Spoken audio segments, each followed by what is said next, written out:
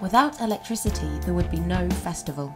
Hello, I'm Paul Jarvis. I'm a site electrician for Powerline. I'm looking after a team of four electricians on this site and we, we provide power for everybody who wants it and needs it, and some for those who don't. We do try and make this job look as easy as possible, but actually it's really quite difficult. Chuck a waterproof lead on the ground and the job's done. My name's Kev.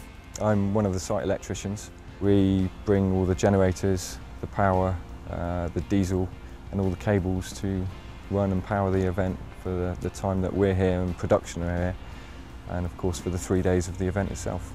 Each one of these is 250 kVA generators and we link them together and there's a communications cable between them so that if one of them is struggling the other one picks up the load and it balances an even load and distributes the power into this smaller box which is a sub-distribution which then comes back out of here into here and then we can pipe all the power in separate distributions off from there according to, to what the requirements are. They're the end user of our electricity, the lights. They use loads of power. They, get, they munch it up like nobody's business. But they're getting better. As the lights go LED, they use less power. And the noise boys, for some reason, their boxes have got smaller, but they need more power. So it's about the same amount of power as it always has been, but they're just shifting it about differently between the pairs of them. You know, they like to compete with each other, the Noise Boys and Lampeys. You'll find that later. How do they plan for the festival? On an organised festival like this, we, we get the information ahead. Um, we know what power what distribution is required. And we're providing some 63 amp three phase to lighting and um, 32 amp three phase to sound. Um, and that is, is the main requirement. A stage is very easy to power. Go for Powerline. We know a location for Kev? Uh, the film crew want to film him again, mate. There's an isolator switch inside, so I have to switch that on. Which basically saves the batteries from draining. The generator is the power station on site. The reason we have two generators on a, on a main stage is if one does fail, then the communications cable will send that information to the second generator and that will kick in and carry the load and, um, and basically save the show because uh, you don't want both your generators going down so we always use a backup. Yeah, here we are, this is it. This is an FG Wilson 200 kVA powered by a Scania power unit which lives inside these great big baffled doors. There it is. It's a hell of a lump. You wouldn't want one of those in your van. You wouldn't go very quickly at all. Uh, so you've got all this grunt and muscle in here that drives the drive shaft that goes into here, which in here you've got three pickups on your, on your alternator. So it's pretty much the same as a motor in reverse.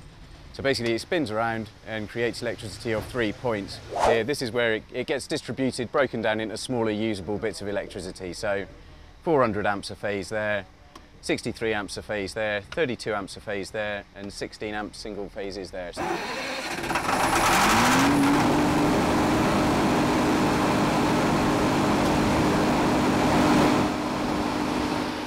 way now. So you can't really have that doing that while you've got a band playing. It's a bit loud.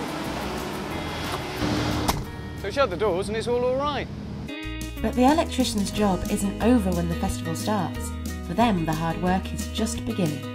We're backstage here now at Green Man. This is, um, we're in the crew camping area. Just here next to it, we've got a um, four and a half thousand litre bunded tank. That's where we store our diesel. So uh, since we've been here, I've already had two diesel deliveries with a big tanker. So that's where we store it. But it ain't no good there because my generators are everywhere. They're all over the place. So um, what I basically do is we have one of these. This is our fuel bowser. It's a thousand litre mobile petrol station, if you like. It's got a small 12 volt pump on it, nozzle, counter, so we know how much fuel's gone. Uh, we now have to zip around site and uh, fuel up a few little bits and bobs on the perimeters, the little sets mainly because they seem to eat more fuel. And then when it's quiet, first thing in the morning, we'll go onto the main um, entertainment site and fuel the sets there. Some of the generators are causing problems.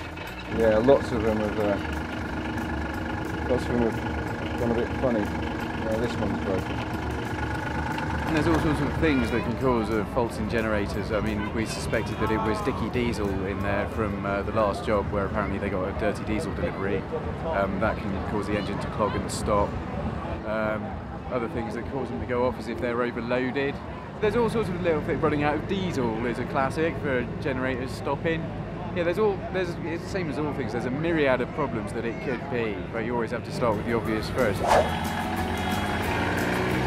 Avanti!